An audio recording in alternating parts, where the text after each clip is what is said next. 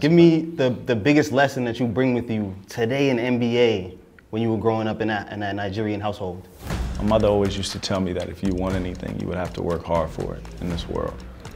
My parents were Nigerian immigrants. They had nothing. What's your earliest sports memory? A lot of times when you play, if you ask every African that's played on the streets and just played on the road without shoes, they, you always get this cut around your toe. Like most traditional Nigerian parents, and all Nigerian parents in general, it was like, you know, read your book, read your book, and learn to cook. Who will marry you? And here I was, Ghana man, lying headfirst on my belly, thinking that at the end of the finish, they probably had my coffin ready to bury me. What's, what do you feel like is your biggest accomplishment when you look back? To do things that my heart felt overwhelmed.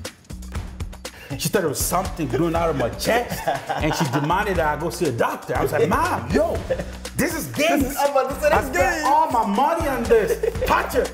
if you can't talk or you can't walk or you can't like your hands are cut off you can make it I went crazy.